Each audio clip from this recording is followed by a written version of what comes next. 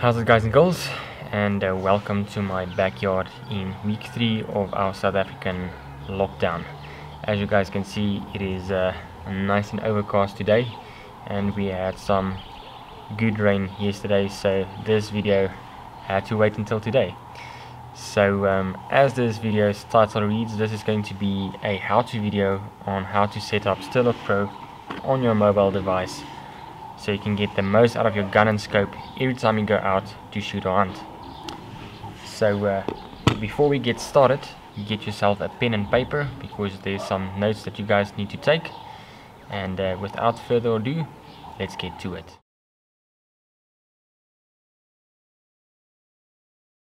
Okay, so before we get started with all the practical stuff, there's some stuff that you are basically going to need.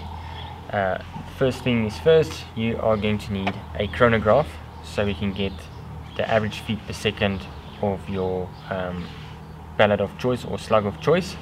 I'm still using a F1 Chrony uh, that's a little bit banged up over the years but it's still working um, till today so that's the thing I'm going to use. Next up obviously is your pellets or slugs of choice. I'm going to use um, the 18 grain JSBs um, for this test purposes. Next up you're going to need is a caliper. I strongly recommend using a caliper or if you don't have a caliper you can use a ruler but um, I strongly recommend rather getting a caliper and I'll show you guys in a bit why I say so. So um, after that you are going to need some kind of target that's safe and I have a box here right next to me that's filled um, right to the brim with uh, uh, plastic bags. And then I taped it up so uh, it can catch the pellet safely. It's cheap it's safe. It even stops my slugs on high power which gives me around 65 foot-pounds. So uh, it is going to be safe for uh, the testing that we are wanting to do today. And then the most important bit that you need is eye protection you don't want to sit with a permanent injury that will keep you out of the sport so stay safe and wear your eye protection when doing any chrony work. So with that out of the way let's get to the practical uh, stuff on what you need to do first.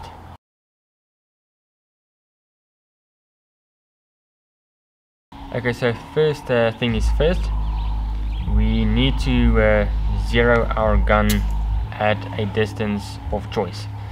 Um, this is personal preference, you can zero your gun to whatever distance you desire. I normally do it at uh, 30 meters, so if you decide on whatever yards or meters you can do so. After that we need to do some chrony work, so if you zero your gun you can just as well do the, the chrony work um, as well. You can shoot a, a good short string and get your average feet per second with your pellets or slugs of choice. Like I said, I am going to use um, the 18 grain JSBs for this test.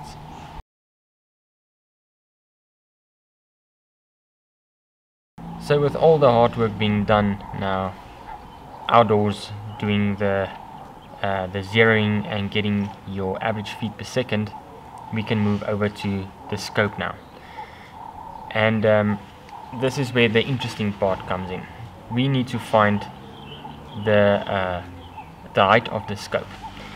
So if you don't have a caliper, you can use your uh, ruler, um, and basically what you can do is you can guess and put it right in the middle of the the barrel and measure upwards to the middle of the scope which will give you a rough estimate on the scope height but when it comes to long range shooting um, and getting your Strelok Pro dialed in correctly, I would strongly recommend a different um, type of method to find out what is the height of your scope. So what I am going to do, this is method number two and I think the most accurate way of doing it. So uh, let me show you. Okay, so first we need to measure the outer diameter of our scopes although the scope might say something else um, spec wise uh, the dimensions on the outer uh, side of the uh, scope might be different. For instance this is a MTC King Cobra F1 6 by 24 by 50 which means the objective, le uh, objective lens is a 50 millimeter lens. Um, but if I measure the outside of the lens it measures 27.5 millimeters. Now I'm not going to use that value um, and the reason for that is I want to measure the distance between the shroud and the scope as well and my caliper only allows me to do it right here in the front. So what I'm going to do is I'm gonna um, measure the scope cap in my case. If you don't have a scope cap you can use the outer dimension of your scope um, in, in this uh, example like I said I'm just going to measure the outer dimension of my uh, scope cap which gives me 58.5 millimeters. I don't know if you guys can see it there. So I'm going to write this down. 58.5 millimeters. And then I am going to measure the outer dimension of my shroud. If you don't have a shroud you can measure your um, your barrel. In my case make sure it is 24 millimeters. Again I'm going to write this down. 24 millimeters. And now what I'm going to do is I'm going to divide the value that I got for um, the outer dimension of my scope which is uh, uh, 58.5 millimeters. We're going to divide it by 2 and that is going to give us 29.25 millimeters. So this is the center then of the scope. I'm also going to divide the shroud in half which will give me the middle of the barrel which is going to be 24 divided by 2 gives you 12 millimeters and then I am going to measure the distance between the shroud and the scope then.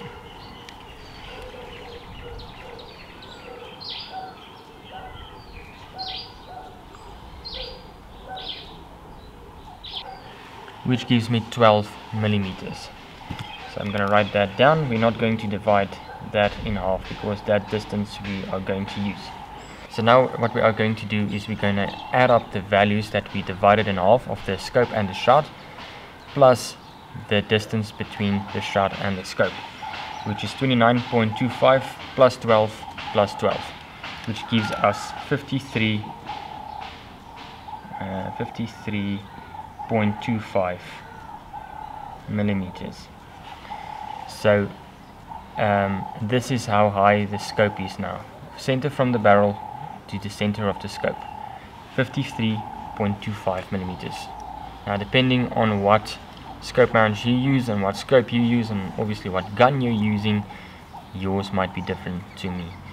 So it's always good to be very specific when it comes to this because um, this will just give you more accurate data at the end of the day.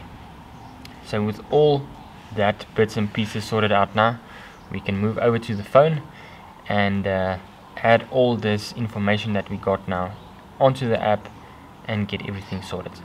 So without further ado let's move over to the phone. Sorry for the sunglasses but um, the clouds keep on coming in and out so uh, I don't want to sneeze while I'm explaining to you guys what's going on. So uh, I suppose you already have the Apple uh, installed on your phone. Um, I strongly recommend you to get yourself the Strelok Pro version. Reason for that is it has more reticles more information that you can use and whatnot. So uh, the free version is okay but um, you're only allowed to do some stuff on it. It's not really expensive. It's really worthwhile because you can always back up your information uh, to Dropbox, Google Drive or directly onto your phone. So every time you switch your phone um, you have your information available. So first things first um, if you open up the app this is probably the main screen that you are going to see. And before we add anything we I want to show you guys if you tap on this little gear icon here and scroll to the bottom you'll see measurement units there at the bottom. You can click on that and right on the top you see imperial units or metric uh, units. You can switch between those two or you can do everything individually um, if you choose to do so. So uh, going back um, we're first going to start and add a new rifle. You can add multiple rifles with multiple information. So you can always just uh, switch between the, the rifles if you do uh, choose to do so. So what I'm going to do I'm going to add a new one and I am going to name this one. Uh, Safari. Uh, test you can put your guns details in there. And then we're going to start with the scope. So uh, first of all you see your zero distance in meters. You also probably say yards if you're using imperial. I'm using metric because all of our units here in uh, South Africa are metric so I'm used to metric. If you use imperial like I said you can go switch it over. So like I said before I actually did my zeroing at 30 meters and uh, my scope height in centimeters uh, was 53.25 uh, millimeters. So in centimeters it's going to be 5.325 done. Now um, it asks me here vertical clicks in MOA and horizontal clicks in MOA now you have to go take a look on your scope on the turret itself what it says. On mine uh, the MTC King Cobra it says one click uh, is equivalent to one centimeter at 100 meters. So right here at the bottom or in the middle where it says MOA my scope click units I'm gonna go and select you can select between MOA MRAD uh, inches at 100 uh, yards or centimeters at 100 meters. Like I said my units are centimeters in um, at uh, one uh, centimeter at uh, 100 meters. So going back to the vertical clicks um, I have one centimeter at 100 yards or 100 meters excuse me vertical and for my horizontal my elevation and windage both of them are one centimeter at 100 meters. Then going down we can uh, select our scope reticle um, you can tap there and scroll through all the reticles until you find it or you can do a physical search mine is the MTC. um, my reticle I know um, in the manual it says it's the SCB2 so um, I can choose whichever one I want because my scope is a first focal plane scope. If you are using a second focal plane scope this little checkbox here you're going to, going to leave it unchecked. Your minimum um, scope magnification in my case it's going to be 6 and my maximum is 24 and in the middle it asks you um, on what magnification your scope is calibrated on. Most of the times uh, the scopes are second focal, plane scopes are calibrated at 10 times mag magnification but just go make sure um, in your scopes manual or whatever on the internet and find out what um, magnification your gun is uh, calibrated to, uh, to, and what that is for is um, if you put it on 10 times magnification your scope will be a true mil-dot um, scope then. But if you are using a first focal plane scope your reticle always grows with the magnification every time you up the the magnification and you know uh, when you lower it the uh, reticle will shrink. In my case my scope is a first focal plane scope so I'm gonna check that box so the magnifications and calibration of the magni uh, of the scope doesn't um, come into play and it's not important anymore. So after the scope um, information has been filled in we're going to click OK. That's right that's my screen recorder again. And now we are going to head back to the information of the gun. Um, on top you can see change cartridge you can even change your pellets you can fill uh, pellet information or slug information in separately and always go change the um, the information uh, regarding if you are using say for instance 18 grain uh, pellets or 25 grain pellets or slugs or whatever the case may be. So I'm going to fill this in. I'm going to say it's the JSB 18 uh, grain uh, pellets and I don't need to go fill in all this information that the pellet or the bullet length and the diameter and all this. What's nice about it if you go down you scroll down all the way you have a little database here of pellets um, I already chose mine on JSB here you have your calibers and your brands. Obviously you can go choose whichever one you use. And I'm going to select the exact heavy 18 grains. It's going to ask me load uh, bullet exact heavy 18 grains. I'm going to say yes.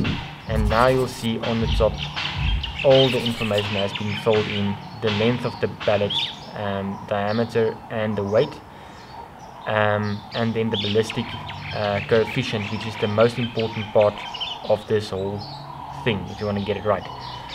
Um, this database is fairly accurate but there is a video of mine which I will link right on top here that you can go check out on how to calculate your ballistic coefficient if you really wish to do so. Because what we did find in the past is that um, not all the ballistic coefficients are the same out of different air rifles. So uh, you can go check if you really want to. Like I said the link will be up here. The drag function is also very important important we are going to select GA. GA is the um, air rifle uh, ballistic coefficient or the drag function, uh, excuse me. And then underneath that is our uh, velocity. So um, I'm going to select, mine was 874 feet per second average. Just going to clear that and then the temperature you can just check on your weather app what the temperature might have been when you zeroed yours. I know mine was close to 20 degrees Celsius. I'm to say okay okay. And then at the bottom part the zero weather um, matching current weather thing you don't need to stress about. That's not really that important. Um, I haven't played it too much with it so um, all my shorts have been dead on so far. Um, it's not really I think applicable to the air rifle thing. Um, we can uh, then head back to uh, click OK then head back to the main screen. Uh, underneath that we have the the twist rate in inches. Now my um, barrel on my gun is a 19th uh, to 1 inch ratio. I'm gonna select that and I know it's a right hand twist. Depending on what air rifle you use um, I'm not sure about all the, the barrels out there so please do not ask me. I don't know. Um, I just recently found out what my gun's twist rate is so please find out from your your local dealer or on the internet. I honestly do not know um, if you really want to uh, find out what it is, go onto these forums like Gateway to Air Rifles and uh, Airgun Nation. Uh, those are good places to ask the people what the twist rate might be on your specific air rifle. Okay, so basically that is that when it comes to the scope and the guns information. We're going to click on close and the next important part that you have to fill in is the weather. Now the weather has a massive, massive, massive impact on your point of impact, um, especially on longer ranges. So temperature, um, you can do this roughly. You know, you can use your weather uh, weather app. My weather app here on top says uh, between 16 and 17 degrees um, Celsius. I'm gonna put it at 20 degrees more or less. It's not really that cold as of this moment and then the pressure the barometric pressure is very important. If you stay close to the ocean you're going to get a different reading than what the guys you know more upland will get. Now my phone allows me to use the internal um, barometric uh, uh, reading.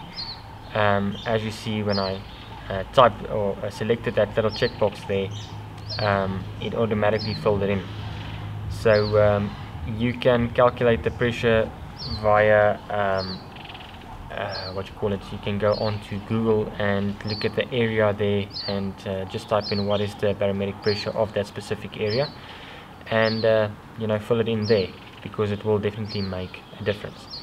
When it comes to humidity you can put 50% um, in there whatever the case may be. Um, what I do is I got myself a very cheap um, anemometer that can give me the temperature and uh, the humidity. I'm not really um, worried about the wind speed. Uh, I know the wind speed on this uh, unit is not going to be uh, very accurate compared to my um, weather flow wind meter. So I basically just carry this around and then during the course of the day as I shoot um, say on intervals of an hour or two hours I normally just go check what the humidity is and the, um, the temperature is because the temperature and the humidity also play a big role. Please bear in mind if you are shooting between say 20 meters or 20 yards out to say 70 yards or so there's not going to be a massive difference when it comes to weather and um, humidity and stuff like that. I would say if you go over 100 yards or 100 meters plus you are going to need to dial in this thing spot on to let that pellet go um, where you want it to go. And if you don't believe me um, there are so many videos of mine where I had the Daystate Wolverine where I took shots way out over 100 meters. And um, it was spot on every single time um, when I pulled the trigger I got most of them are head shots hard and long shots yes, neck shots. yes, yes, the list just goes on and on.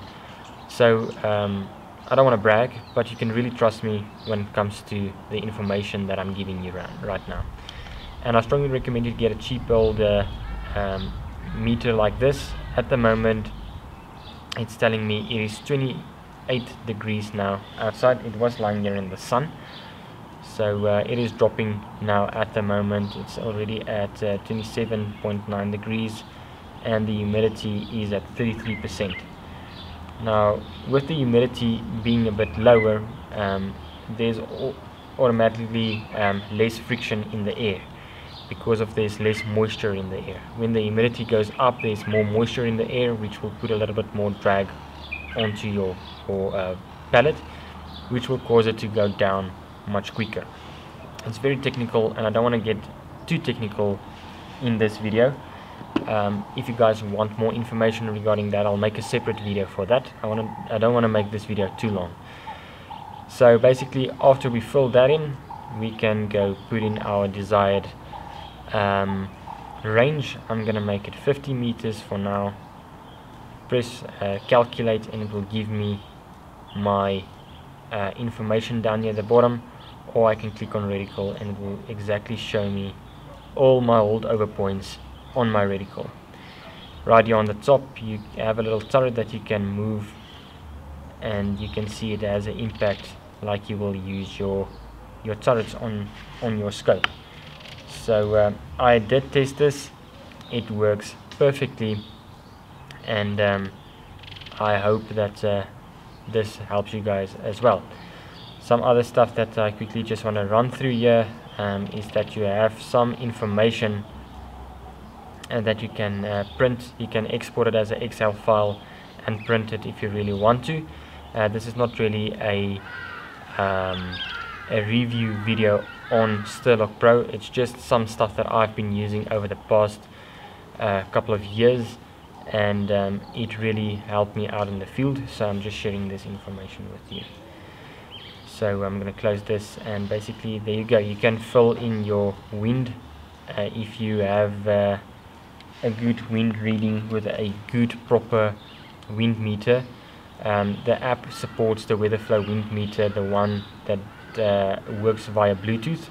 So you don't need to plug it into the headphone jack the whole time. You can use the the Bluetooth uh, function and it will give you a good reading on live reading every time you pick it up you must just look at your wind degrees as well. So according to um, say for instance I'm shooting directly towards the camera um, and the wind is coming right from the front um, I can just you know place the the wind angle on this little um, compass here and select OK and then you can just add your wind speed in here let's make it 20 kilometers per hour it's a hectic day of wind calculate and then it will give you it on your reticle as well if you wish to do so. So basically that is how I do it. And um, as you guys have seen in the past it um, really worked very well for me. Like I said um, you have seen in my past videos with the Daystate uh, Wolverine how accurate all my stuff was in the past and even till today using the Red Wolf Safari. Um, I think the furthest shot that I took so far with this um, setup now was at 138 meters and I also used my um, Strelok Pro on my phone to calculate the distance. So uh, it just shows you if you are super accurate with all your measurements you can get great results out of this app so guys if you like this video um, please give it a thumbs up. Also share it with somebody that might find this um, information helpful and interesting. Um, also remember to uh, subscribe to my channel and hit that notification button if you want um, to see more videos like this. And uh, thank you guys for your support. I really do appreciate it in these times. Um, I wish I can go out and uh, do more hunting videos but unfortunately our lockdown and our restrictions basically um, is restricting us um, to go out and uh, enjoy the outdoors as well. So um, yeah if you guys have any any any questions please uh, leave me something down in the comments below. I will try to come back to each and every one of you and help you as far as possible um, again thank you very much. I appreciate you guys watching. Links to all the stuff I've been using is down in the description of the video. And I'll see you guys in the next one. Cheers